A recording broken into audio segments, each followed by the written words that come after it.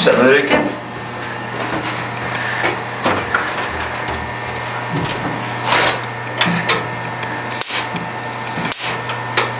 Uh.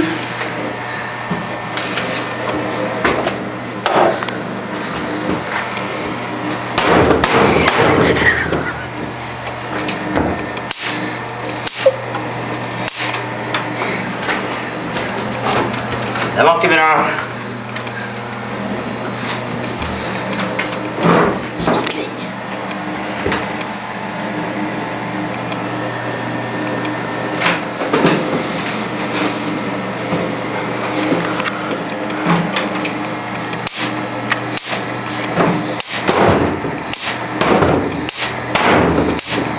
なあなた